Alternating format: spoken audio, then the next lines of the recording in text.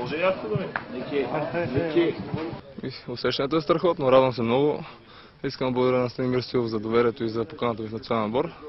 И се надявам сега да успеем да зарадваме феновете, които ще идват на стадиона, защото е много важен мач за нас и трябва да вземем задължително три точки. Очакваш ли да бъдеш повикан при положение, че има контузия Георги Петков? Не знам, в смисъл, това не мога да коментирам. Ако някой има, то винаги има спекулация в нашата държава. Ако някой има въпроси, ето го Станимир Силов, там мога да попита да него, що мен ме е повикал. Естествено, като ме е пратил покана, аз не мога да откажа. За мен е чест.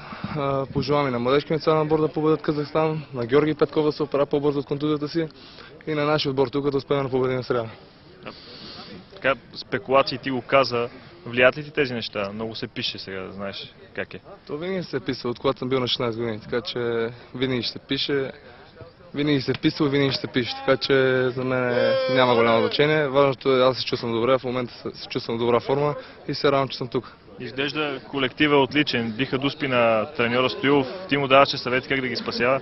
Да, колективът е много добре. Мари винаги с, Мари Стоилов винаги с това се е така славил, че винаги в отбор има голямо настроение.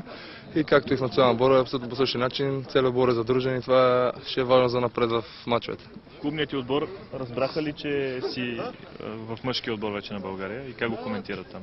Нищо, разбраха, поздравиха ме и ме очакват четвъртък да се спра. Петък има първенство за първенството на Холандия започва и трябва пак да пада, защото титулярният вратар, който от Сандър Бошки, 38 годишен, все още контузен.